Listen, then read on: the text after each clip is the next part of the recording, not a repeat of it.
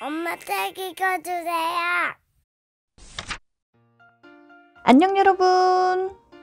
이번에 읽어볼 책은 짜잔! 바로 해와 바람이에요. 그럼 인형들과 함께 동화나라로 떠나볼까요? 화창한 봄날, 바람이 해에게 찾아왔어요. 그러고는 자신의 힘을 자랑하기 시작했죠.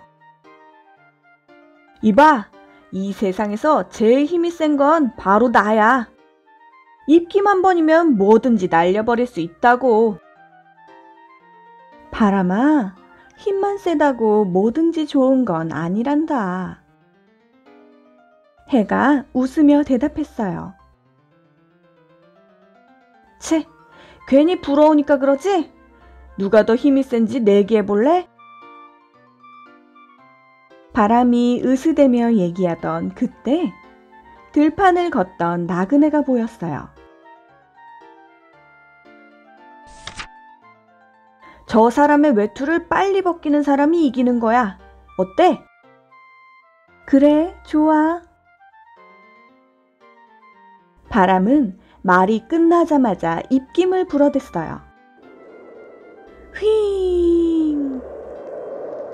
아니, 갑자기 웬 바람이람? 나그네는 옷이 날아갈까봐 외투를 꼭 잡았어요. 그 모습을 본 바람은 더욱더 세게 입김을 불어댔죠. 아이고, 추워라.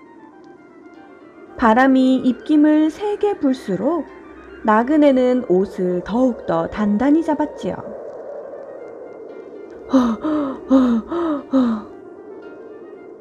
힘껏 입김을 불던 바람이 먼저 지쳐버렸어요. 아, 힘들어.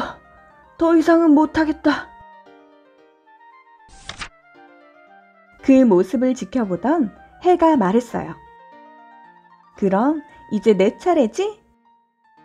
해는 방긋 웃으며 뜨거운 햇빛을 비추기 시작했어요. 아까는 그렇게 춥더니 갑자기 또 더워지네. 날씨 한번 변덕스럽구만. 나그네는 땀을 흘리기 시작했어요. 그리고 꽁꽁 여몄던 외투의 단추를 풀어버렸죠. 그 모습을 본 해는 더욱더 강한 빛을 비추었어요. 아이고, 더워라. 뭔 날씨가 이렇게 덥냐? 참다 못한 나그네는 외투를 벗어버렸어요. 그렇게 해와 바람의 시합이 끝이 났어요. 봤지, 바람아? 힘이 센 것만이 좋은 건 아니란다.